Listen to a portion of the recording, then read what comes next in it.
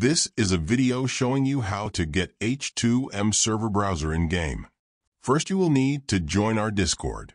Link is available below the video in the description. Once you join, be sure to click Tutorials, Friendly, and Downloader, as you will need these roles to view the forum section in our Discord.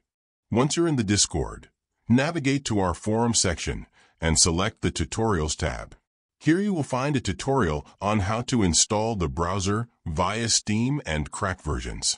For the sake of this video, I will be doing a tutorial for the Crack version, but there's a tutorial fully explaining how to install in the Discord if you purchase the game.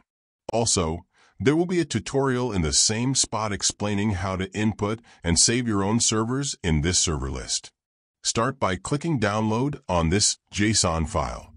Once the file is downloaded, open up the directory of either your Steam game or, in this case, the H2MCrack folders. Once your file is downloaded, open up another file explorer and locate your Call of Duty Modern Warfare Remastered folder, and then find your Players 2 folder and open that as well. From here, drag your favorites JSON file into your H2M Players 2 folder.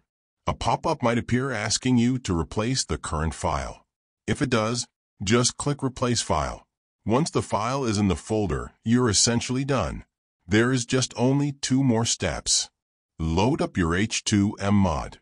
Once your game is loaded, locate Find Match and click to open your server browser. You will notice there is still nothing in this list until you go to the bottom button and filter Server Browser by Favorites. And there you have it. That is how you get the multiplayer server browser in H2M Mod. If you have any questions, feel free to leave them in the comment section or ask in our Discord. Thanks for watching. Feel free to subscribe and like the video. See ya, nerds.